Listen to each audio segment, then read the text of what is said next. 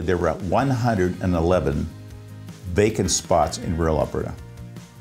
And so I said to the minister, we need to be aggressive.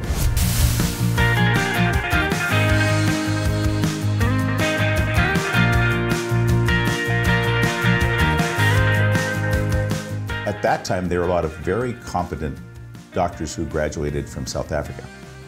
And they all would say to me, Well, I have a cousin, I have a friend back in South Africa. So we chose to say, Let, us go and see if we can talk to these people and recruit them to rural Alberta. And so the first bit of the million dollars went to hire a recruiter. So the recruiter and I flew over to South Africa. Long before we went there, we had over 100 people that we were going to uh, interview. And the, the deal was I would sit down and, and decide whether they were eligible to practice medicine and what were their competencies. And if the answer was great, then the recruiter would sit down with that doctor and their spouse. We know we can get the doctors here, but would they stay? And they'd stay if, if they're in the right community. So we're, we're, we're flying into Johannesburg. And we knew there was some uh, animosity, but we were saying, we're here to visit people we know. We're not stealing these doctors. These are people who want to leave from all kinds of reasons, safety, whatever. And so I said, let's you and I go through different lines when we go through customs.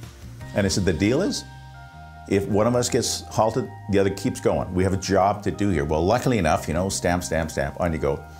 And so we sat down and we, we ended up bringing, uh, I think, 95 people over. We had them here for 10 days. Uh, we already had them uh, sign up with at least three areas.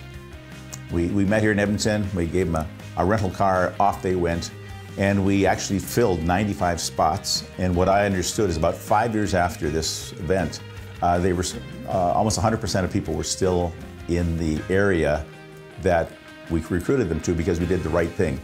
So as a result of that, and I'm not sure about the timing anymore, then there were issues about training and, and, and all of a sudden we, I said like, I can't do this anymore. I actually have a day job. And so the, the issue was, I need some help. And that's how we brought David Kay in. No idea who David Kay was.